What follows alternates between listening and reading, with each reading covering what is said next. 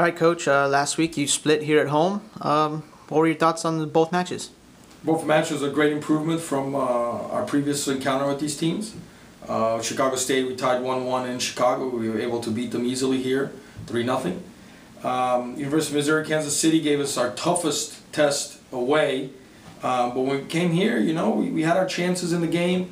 Um, you know, we're unfortunate to lose with 57, 57 seconds left, but we proved that we can play with the top three, um, and we've basically set the foundation for the future. Uh, this week you welcome in uh, Utah Valley and Seattle. Uh, what can you tell me about them?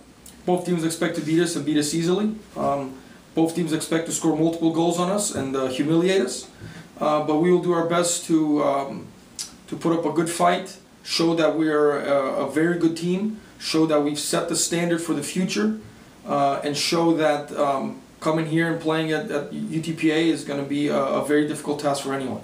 Uh, you mentioned facing the, uh, the other teams on the road, but here at home it seems like there's a different energy. How do you guys feed off of that crowd?